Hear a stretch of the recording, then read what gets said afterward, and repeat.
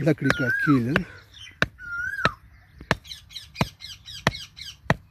ये तकरीबन आधा हम ज़मीन के अंदर ये दबाएँगे हम्म, और बाकी बाहर रहेगा तो इससे हम फिर फिर हम बाँस लगाएँगे। बाँस हो या कोई और तकरीबन सात आठ फुट का होना चाहिए।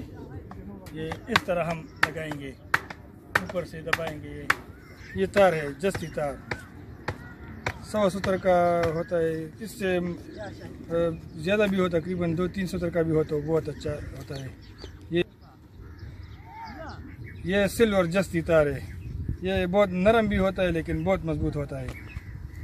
नरम है लेकिन मज़बूत है। ये आसानी से हम लगा सकते हैं। इधर लगाएँगे। दो तीन बार ये घुमाएँगे इस, इस तरह। मजबूती से।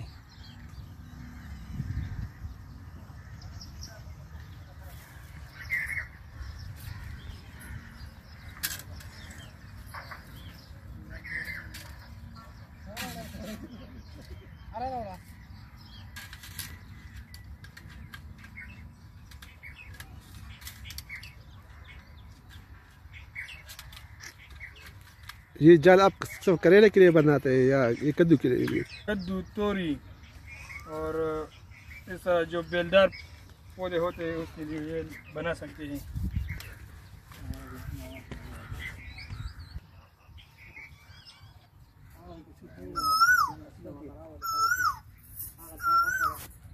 ये फिर दूसरे साइड हम ये लकड़ी लगाएँगे। दूसरे साइड पे? दूसरे साइड पे। और मजबूती के साथ ये ये इधर इस तरह बांधेंगे। ताकि हवा तूफ़ान की से ये ना गिरे। हाँ हाँ। बाज़ लोग ये साइकिल का टायर यूज़ करते हैं या सरिया का इस तरह का जो है ना वो बेंड किया हुआ हुआ होता है। हाँ, तो वो लगाते हैं।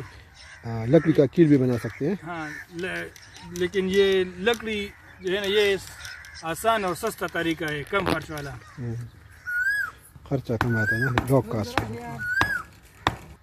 ये भी मज़बूत होता है। मज़बूत बनाने का तरीका ये है कि एक बंदा इधर से ज़ोर लगाएगा। मजबूती पकड़े ना? हाँ। और दूसरा बंदा ये हथौड़े के साथ इसको बांधेंगे। हाँ,